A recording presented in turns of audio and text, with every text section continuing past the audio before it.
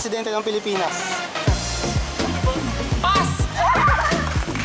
Ilang bituin sa watawat ng Pilipinas? Tatlo. Sino-sino ang tatlong paring martir? Ano ba yung tanong na yan? Hindi ko alam. Ilan ang isla sa Pilipinas? 7,100 something. Ano ang kinakain ng mga kiiting eagle? Banana? Ano ano ang kulay sa watawat ng Pilipinas?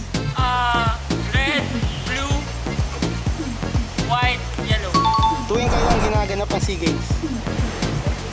Every two years. Ano ang buong pangalan mo? Genevieve Kasugan. Ilang palapag ang 73-story building?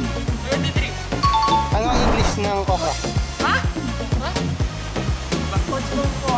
Pass! Ilang araw mayroon sa tatlong linggo? Seven! Seven ba? Kailan huling nagkar- nagkagintong medalya ang Philippine National Women's Volleyball Team sa SEA Games? 19!